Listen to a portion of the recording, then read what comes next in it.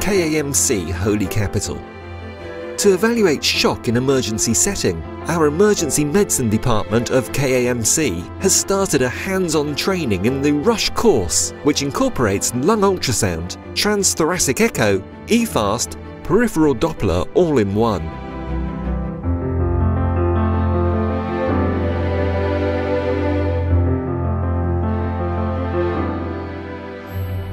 King Abdullah Medical City